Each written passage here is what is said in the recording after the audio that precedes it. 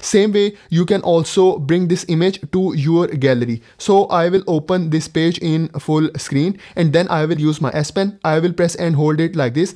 And then here I have this option of clip subject. So I will select it. It will only select this image without these labelings. So I will use my S Pen. I will press and hold it like this. And now for example, if I drag it towards the right side of my screen and then I will drop it over here. So the same image will open in gallery and later I can edit it. The next thing is same way you can also drag text to your notes. So I will open this website in full screen. And now for example, here I have this text and I want this text in my my notes. I will use my S Pen and then I will start selecting this text. So for example, I will select it till here. Now I will use my S Pen. I will press and hold it like this and then I will start dragging it towards the right side of my screen. So I will just drag it like this and then I will drop it over here and then I will select Samsung notes and then I will select add to new note. So the same text is now available inside my notes and now if you want you can also edit it.